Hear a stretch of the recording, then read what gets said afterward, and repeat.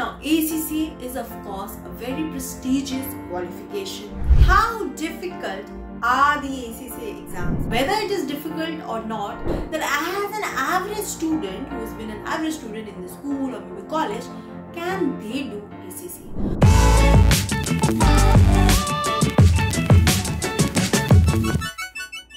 How difficult are the ACCA exams? Is this question on your mind? Then keep on watching this video. Hi everyone, I am ACCA Disha Chauhan, a proud FinTrammer and also an ECC faculty. Welcome, welcome to this video.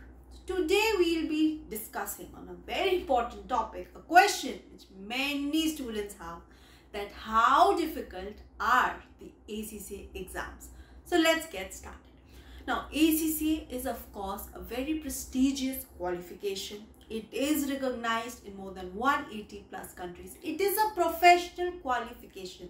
So you need to know this before you start because if it is a professional qualification, it is going to be rigorous, it is going to be demanding.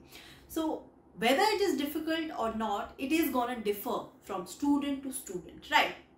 But many students have this question that as an average student who has been an average student in the school or maybe college, can they do ACCA? So the answer is definitely yes. I myself was an ACCA member. I would say I was an average student. Uh, I was never, you know, coming first in class or anything like that. But I cleared all my ACCA exams in first attempt except for one exam. So yes, it is very much possible if you stay motivated and have that dedication and willing to put in that hard work. So how exactly, how difficult are those exams, right? So firstly, ACCA exams require that you understand the concept, that you understand the subject, the syllabus, everything, right? There is no rote learning. So don't think that, oh, I will just mug up a page, I'll just, you know, I'm good at that. Maybe some people are good at it, so I'll be able to do it. No, there is no rote learning, my friend. You have to understand the concept. Students who understand the concept, they are, you know, better able to tackle the exams. Their chances of clearing the exams are more and you see those students actually clearing the exams than those students who are just you know just trying to understand it for the sake of it and you know not putting in that effort also. So firstly don't just learn or understand a concept just for the sake of the exam. Think about it how this will be useful for your life. For example if you are let's say at a skill level and you are uh, doing let's say FR exam right? Financial reporting.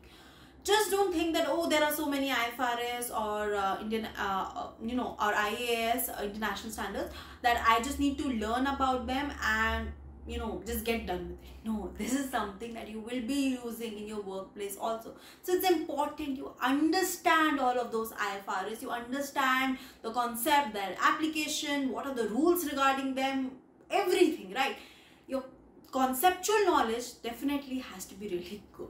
And that is very very important. If your concepts are clear then i really think for those students acc exams are not difficult. But if your concepts are not clear if you're not putting in that hard work then definitely you will feel that it is very difficult.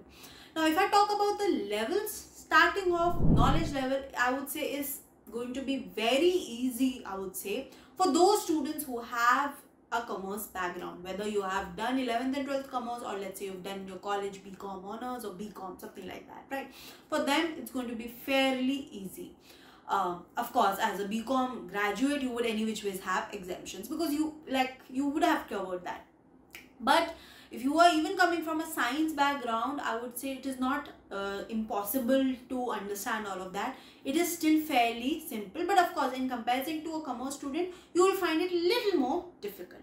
But at the skill level it's pretty much going to be same for everyone because now you have gained that knowledge. The basics you have either you have from your past studies right from your college or uh, your school your commerce if you've done but uh, when you're at the skill level even if you were coming let's say from a science background you would have given your knowledge level and now you have that basic knowledge of accountancy of business.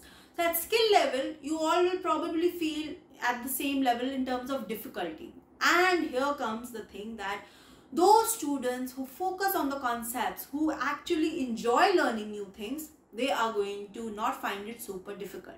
Now, I myself, from my personal experience, I can share that I never gave an exam or studied for it from the point of view that okay i just have to do it because i have to clear this exam and then just forget about it. No. I always did it from the point that okay this is something that i will also use it in my workplace. When i was working in one of the big fours in audit and when studying the audit and assurance paper so i studied all of the concepts and i actually saw that okay this is something that i actually use in my workplace. So it's great. I need to understand it and apply it not only in my exam but actually in my workplace so yes, you have to study from that point of view. Even if you're not working, it's fine. But you need to understand that whatever you're learning, it will be used in the future. So make sure you're not just learning or understanding that concept from the point of view that I just have to clear that exam. Another very important point is a lot of hard work. Yes, it is a professional qualification, so you have to put in hard work. When we were in school, remember the 10th boards and 12th boards were the main part, right? It didn't really nobody really asked how much you scored in 9th or 11th but everyone was there calling that okay what was your result? On your 12 boards or 10 boards right? So similarly ACC is a professional qualification. It is important. It is you know a career defining thing. So it's not going to be super easy definitely. But at the same time I will not say it is super difficult because of the flexibility that ACCA offers. Yes, ACCA gives you the choice that you can decide which attempt you want to give exam, which paper you want to give, in what order in a particular level. So at skill level, you know, you don't have to really start from uh, PM exam. You, I could start from FR, I could start from AA. So it's my choice. So this flexibility that ACCA offers that I can give one paper at a time, I can even skip a sitting if I want to makes this course far more easier than other professional qualifications. This is actually a, I can say definitely a fact. Many students feel that the flexibility is actually a very, very important aspect of this course. And because of it, it doesn't feel that much difficult because, you know, if imagine if you were told that, no, you have to give three exams at one sitting and you have to clear all those three, then of course you would feel that burden and you would feel that it's so difficult. But once you've given this choice that it's up to you, you can give whenever you want to, whichever sitting you want to, whichever order you want to, it automatically becomes easier and it reduces a lot of stress, I would say. So yes, ACCA is a rigorous qualification, just demanding it, you know, requires students to study, put in that effort. But at the same time, it offers a lot of flexibility so that you are not stressed out uh, too much uh, during the year. You can plan accordingly as per your other commitments.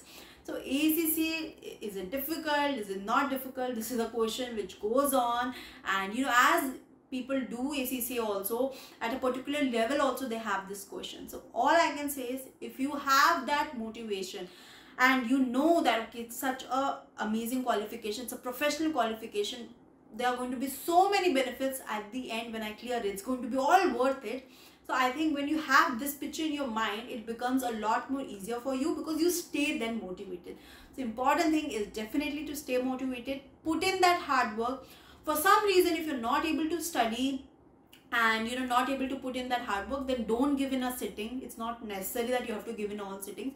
So you have to decide you are the best judge of your schedule. So, you know, looking at all of that, you should plan your exams because nobody is asking you to, to give two papers at a time. You can simply give one paper. So decide and just focus on that one paper and you have enough time, two, three months you have for preparation. So I feel then it doesn't really become super difficult and people can definitely clear it even as an average student. So I hope this video was helpful. If so, do hit that like button and also subscribe to our channel for more such informative videos. It really keeps us motivated to, you know, make this content for you. So make sure you subscribe and you can visit our website to you know know about if you want to take up any coaching for any subject or you just want to take let's say revision boot camp question marathon uh, you know just want to prepare do a fast track course sort of thing. So everything is available. All you have to do is visit our website. In case you have any other queries, don't worry, you can comment down below and I will see you soon. Till then, this is Disha Chauhan signing off.